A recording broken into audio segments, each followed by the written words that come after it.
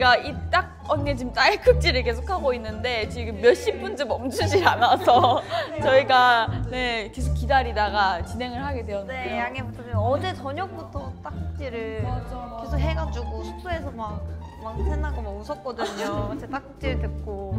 아직 어쩔 수 없죠. 생리현상이잖아요. 양해 부탁드리겠습니다. 열심히 참아볼게요. 네.